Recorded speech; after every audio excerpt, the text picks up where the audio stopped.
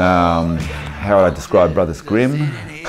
Bunch of wankers. I think they're crazy.